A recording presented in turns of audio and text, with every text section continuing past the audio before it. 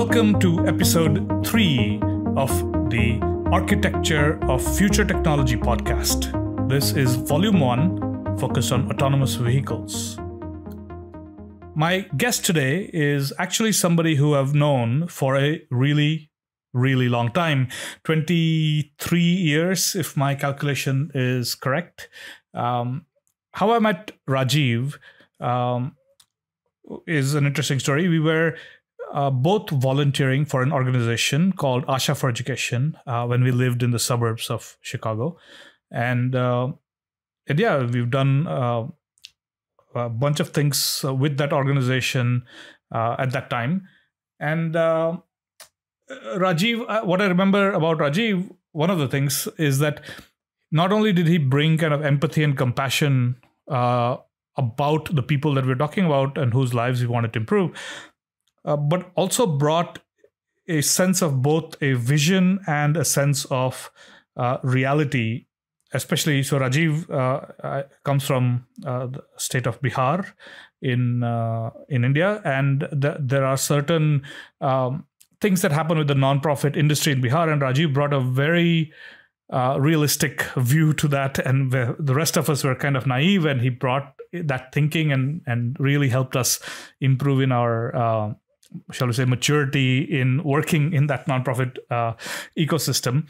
Uh, but that was, you know, 23 years ago. The world has changed, uh, and a few months ago, at this point, a couple of months ago, I was uh, attending an autonomous vehicles or a automotive technology conference in the suburbs of Detroit, and uh, just parked my car, and I looked at my rear view mirror, and there goes Rajeev I was like, "Whoa, what are you doing here? You were you used to live in Chicago. The last I knew.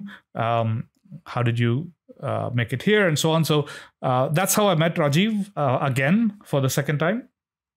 Uh, so Rajeev, what uh, brought you to Detroit? What are you doing now? Thanks for the uh, introduction, Prasanna. Yeah, so we, we were in Chicago, and I was primarily as we were company working with Motorola. We were in uh, cellular uh, industry development where we were doing 3G, 4G, 5G uh, technology.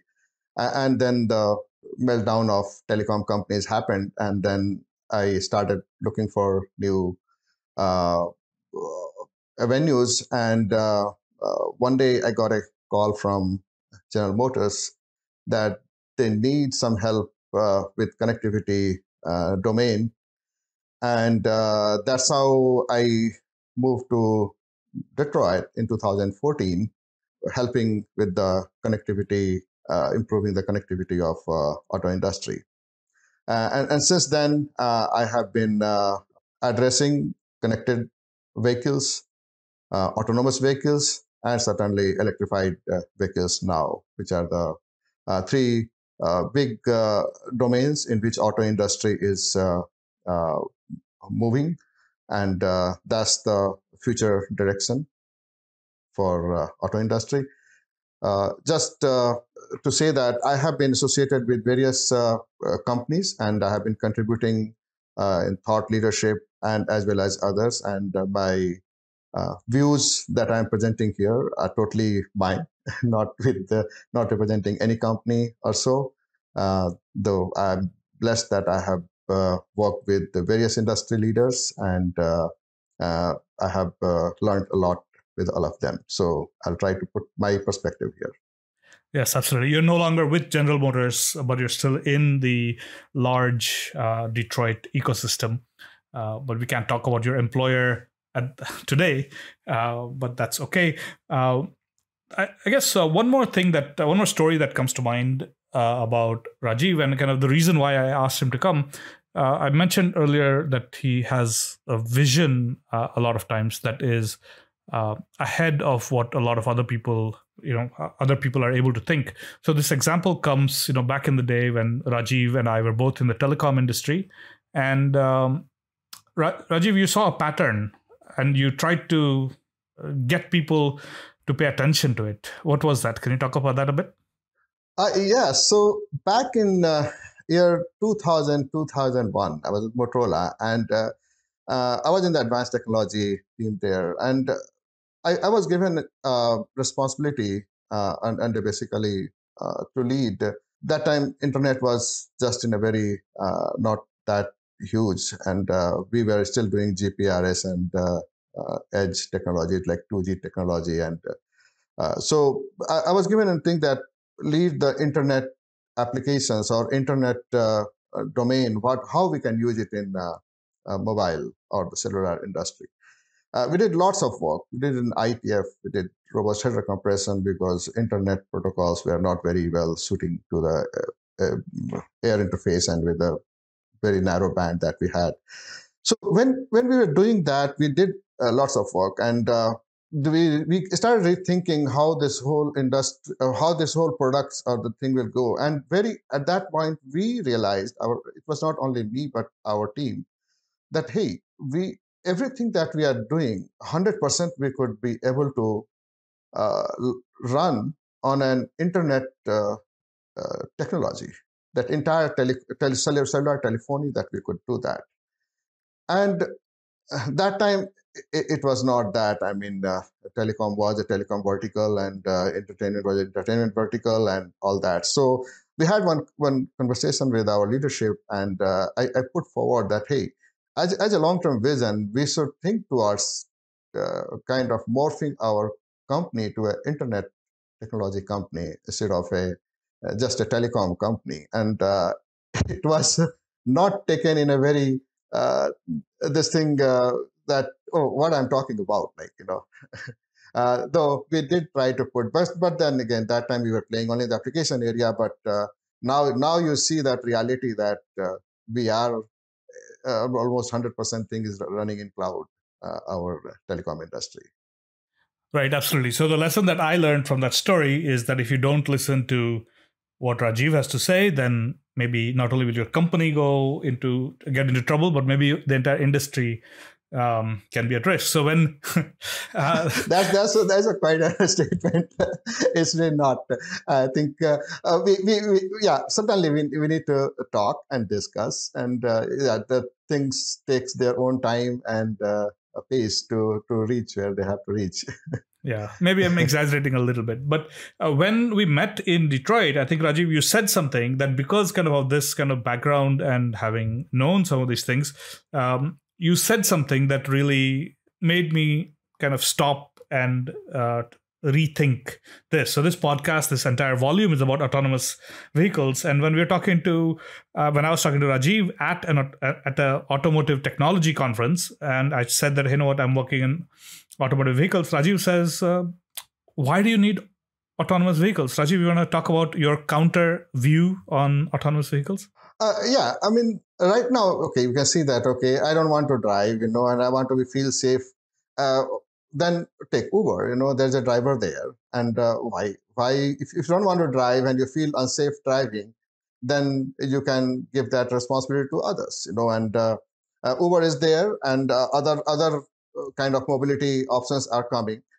But then still, we want to be driving. So, so the major major thing that comes that we want to reduce uh, accidents uh, with autonomous driving, and uh, that's a, that's a good good target, and uh, a good uh, mm, kind of technology can help in that direction, and uh, we are moving into that.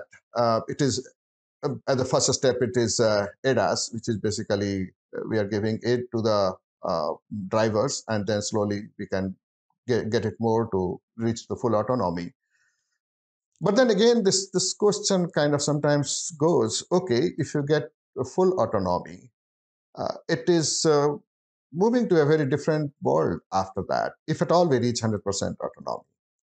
And that's why I, I, I sometimes uh, uh wonder, uh, or basically let's, let's, let's discuss what, what are the kind of future where, where we will end up uh, if at all we are moving into the direction of 100% autonomy. Right.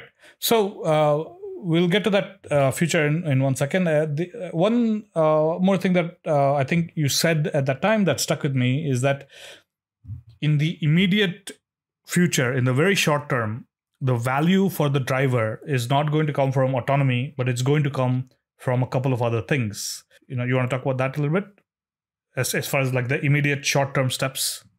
So, so short term, definitely, I think everyone is now aware, and I've been the whole world is seeing. I mean, the, the three major movements that is happening is about electrification, uh, connectivity or connected cars, and autonomous driving cars. And, and these uh, three dimensions are taking the whole auto industry to a uh, new uh, world, a new business, a new ability, and a new possibilities that that we can do from from not only that from the technology perspective, uh, but it also from uh, how we will be consuming or, will be mo- the mobility uh, as a whole. Uh, so these three, when it comes, I think, uh, and the culmination of all these three three things goes into what now we start talking about software-defined vehicles. Uh, so the software-defined vehicles essentially gets to that space where uh, definitely electric is not to do so much with electric uh, electrification, but definitely with the connected uh, uh, ecosystem and uh, autonomous driving. Uh, so autonomous driving again can be a little bit of a tangential to that, but yeah, connected. When it comes to connected, we are wanting to have our car 100% upgradable, 100% what access we could give, and kind of is pushing us moving from a product domain to a service domain kind of uh, uh, a place where where the auto might be seen more as a service than as a product. Right, absolutely. And uh, you talked about the software defined future of the automobile. Do you think uh, car companies today are ready, well equipped, well on their way in making this, or are there some challenges in uh, in kind of making the transition to think about software as a core part of what uh, they do? Yeah, I, I think the whole industry has embraced it. That's that's there. Whether they are there, no, it is. It's still in infancy. It is very early stages. Some companies, uh, you may say that, that they're a little bit ahead, uh, but uh, reaching a software-defined vehicle uh, target is still, uh, if not nothing else, I, I think could could minimum take a decade or more than that. It, it, goes into so much because of our uh, legacy. Uh, also we can say that and auto industry has been moving uh, in good pace with technology. And every year you see that so many new features that is added you know. Now only thing is that the little bit disruptive it is going to be we will we will see uh, major changes into uh, or, or, more uh, kind of disruptive things into coming and it is also coming that our the way we we consumer we have now now getting used to our lifestyle a connected lifestyle, you know, that uh, like our entertainment and connectivity uh, on home from mobile phone to watching TV or video or looking at newspaper that has changed. And that entire thing has to move to our uh, auto space. So we, we don't want to see uh, getting, okay, if I'm in car, I can't do this or I can't go there. If, if I have to run my meeting and uh, uh, I could run my virtual meeting from the car space. So, so we, it's, it's a seamless, uh, basically, experience uh, auto industry is to address, and we are coming. And, and definitely, the software-defined vehicle means that we should be able to add features, we should be able to add capabilities on a uh, more uh, uh, frequent basis instead of what we bought today and we stay with that for another 10 years or 20 years. That is not going to be there. So uh, whether like it or not, auto industry has to embrace it, and uh, we are on the path. Every everyone is uh, trying to define uh, what their own uh, timeline when they will be reaching the full scale uh, software defined vehicle. Great. So let's uh, now switch gears a little bit to what this uh, the the name of this uh, podcast around the future. So um, talked a little bit you know the software defined future is still you know 10 years away to get all the way there but a little bit further in the future when you think about autonomous vehicles and autonomy what does that future look like to you uh, you know um, autonomous vehicle okay so that's that's opens up a lots of the genesis of mobility came and you see that before uh, cars we were running on horses and we had multidimensional way of moving go anywhere in any direction and when we adopted this uh, basically driving, then suddenly we had to had our roads and we, we go in, in on roads and uh, we, we kind of restricted our our movement. Uh, because the vehicles move on the roads. Uh, but now that autonomous driving is coming, and we, we see that okay, I'm I'm not driving, but my I'm being driven by an algorithm or, or something that that is doing that. Uh, and we are still going in that very congested road, trying to save ourselves uh, from very millimeters and centimeters of uh, uh, uh maybe uh, that that could lead to a major accident. You know, and so the the, th- the thought comes that why do we limit ourselves to such a congested environment? Uh, if at all we can free up ourselves uh, from there. And uh, so, so, this autonomous driving essentially now says that, and, and then the other development that is happening uh, is that we have drones now. Uh, companies are experimenting uh, that for personal mobility could be use drones or maybe a flying cars. Because certainly uh, if you have to fly then you learn flying and then everybody's not comfortable. Driving is much easier so people were driving. But now if it is driven by uh, algorithm it is driven by computers then uh, yes i mean uh, that possibility comes that uh, a, a, drone kind of a mm, vehicle or, or, a flying car uh, could be a possibility and it will leave us in a space which is less congested because now we have a third degree of movement basically uh, instead of just going in one direction and trying to save yourself colliding uh, at a millimeter centimeter but rather uh, lift up and then you open up a space to go 10 tiers 20 tiers uh, above that. So so it will ease up your space. So that's one possibility i see that autonomous driving takes us uh, into uh, the dimension of moving into three dimensions. Wow, so you see the fifth element uh, type of a future where you know Bruce Willis opens his window and then there's a taxi cab, and you think, you know what, hey, there's a cab, uh, but later you realize that it's not just a taxi cab; it's a three-dimensional road, and the cab is floating in the air, um, and you're dealing with not just a two-dimensional traffic jam, but a three-dimensional traffic jam. Uh, so um, so but i guess the uh, so that's interesting. One question that comes to mind is will it actually be easier for from an autonomy ai perspective to navigate and avoid collisions in a three-dimensional space than in on a congested congested road? Because um, you know your options are quite limited yeah, so uh, on the three dimensional space, we uh, it's only that it's easy as you out. Not that see uh, when you are going out on uh, out of your home and uh, mobility, uh, there are other there are many your right of way and where you can go without eavesdropping. You just don't want to fly over somebody's backyard. You know, the privacy things and that.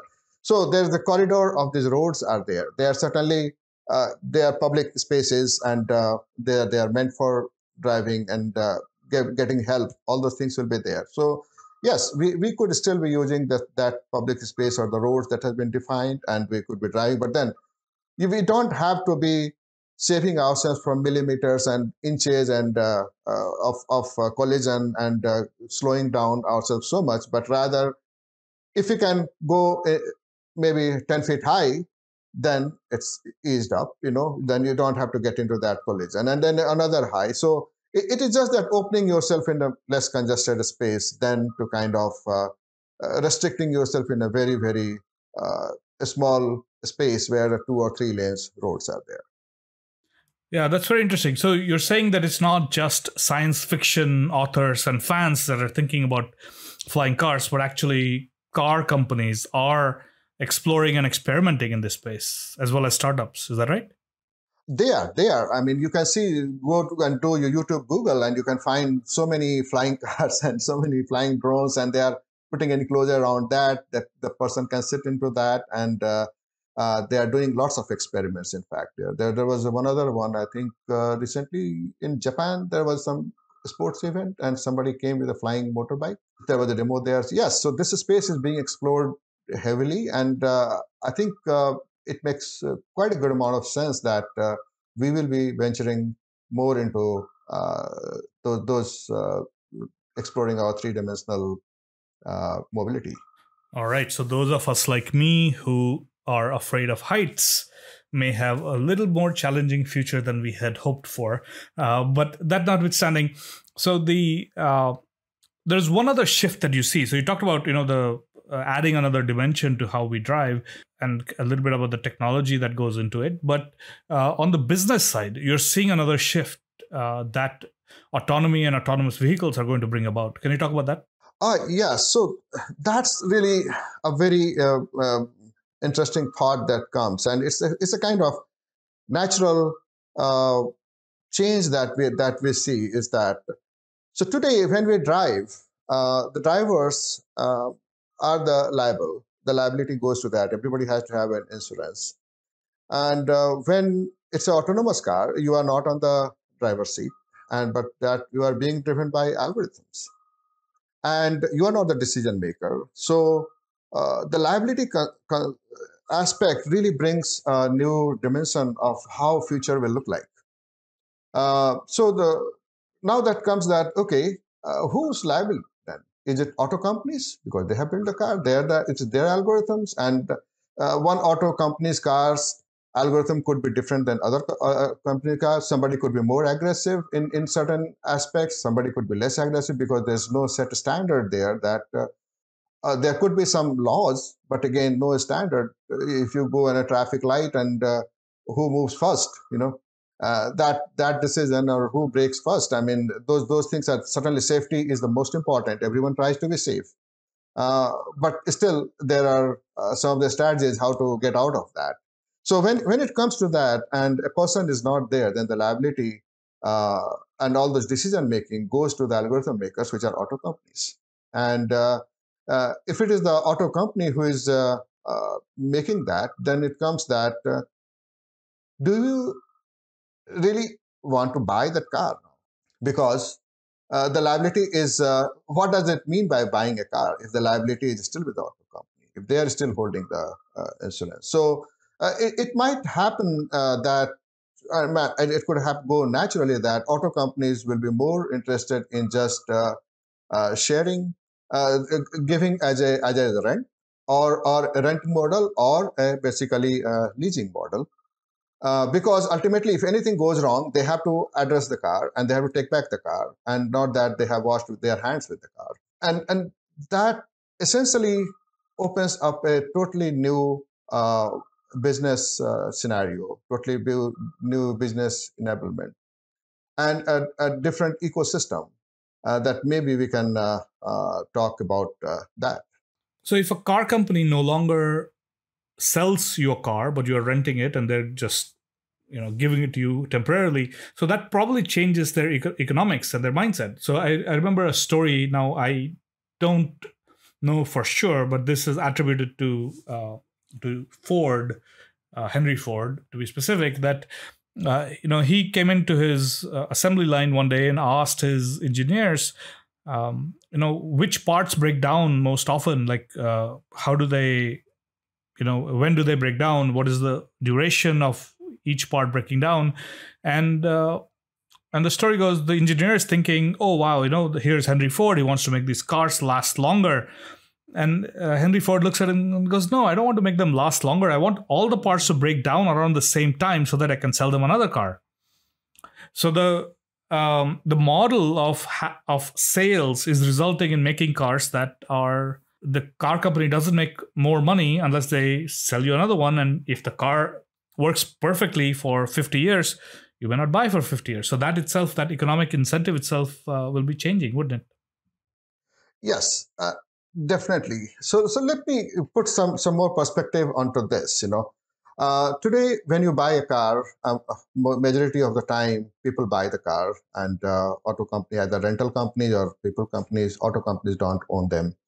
Uh, sometimes you lease for some time, uh, but the most prevalent uh, way of owning car is that people purchase car. And what happens?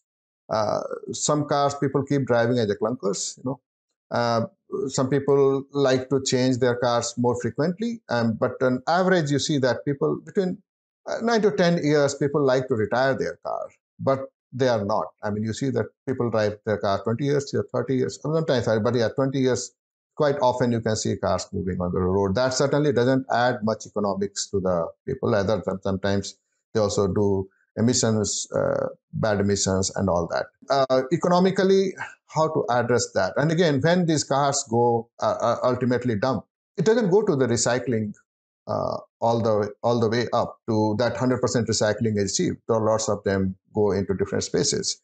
But you see that if the ownership of the car changes and if the auto companies remain as the owner and they are just leasing you or renting you uh, for the drive, which becomes like a now a service model.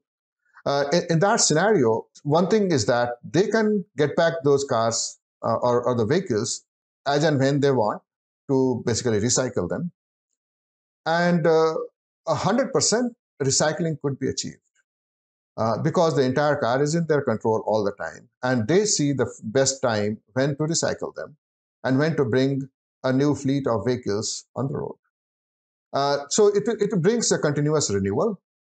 It brings a continuous, a, a 100% recycling and uh, maybe what, I don't know if something could be reused, but uh, uh, certainly recycling is definitely there.